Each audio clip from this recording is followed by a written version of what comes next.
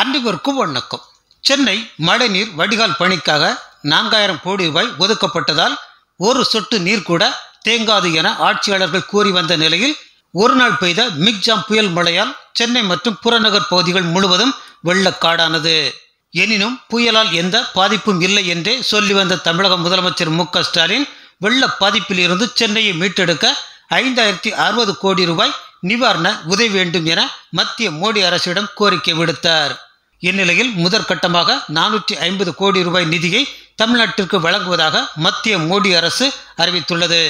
அது தவிர சென்னையில் வெள்ள மேலாண்மை என்ற புதிய திட்டத்திற்கு ஒப்புதல் அளித்து ஐநூற்றி அறுபது கோடியே இருபத்தி ஒன்பது லட்சம் ரூபாயையும் ஒதுக்கியுள்ளது மத்திய மோடி அரசு. இதன் மூலம் வெள்ளத்தை தாங்கக்கூடிய வகையில் சென்னை மாறும் என எதிர்பார்க்கப்படுகிறது. இது தொடர்பாக மத்திய உள்துறை அமைச்சர் அமித்ஷா தனது எக்ஸ் தள பக்கத்தில் மிச்ச புயல் தமிழ்நாடு மற்றும் ஆந்திராவை கடுமையாக பாதித்துள்ளது. சேதத்தின் அளவு வேறுபட்டாலும் இந்த மாநிலங்களின் பல பகுதிகள் வெள்ளத்தில் மூழ்கியுள்ளன. பயிர்களும் பாதிக்கப்பட்டுள்ளன.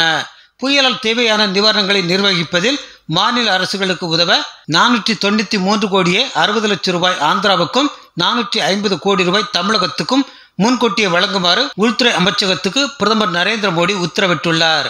பாதிக்கப்பட்ட அனைவரின் பாதுகாப்பு மற்றும் நல்வாழ்வுக்காக இறைவனை பிரார்த்திக்கிறேன்.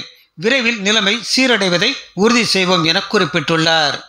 கேட்டது ஐயாயிரத்தி அறுபது கோடி ரூபாய் கொடுத்தது நானூற்றி ஐம்பது கோடி ரூபாய். இதை வைத்தே தமிழக மக்களை வஞ்சிக்கிறது மத்திய மோடி அரசு என திமுக அரசு குற்றம் சாட்டும் என்பதை நிச்சயம் எதிர்பார்க்கலாம். ஆனால் கடைசி வரை அந்த நான்காயிரம் கோடி ரூபாய் என்ன ஆச்சு என்ற கேள்விக்கு மட்டும் யாரும் பதிலே சொல்ல மாட்டார்கள். நன்றி.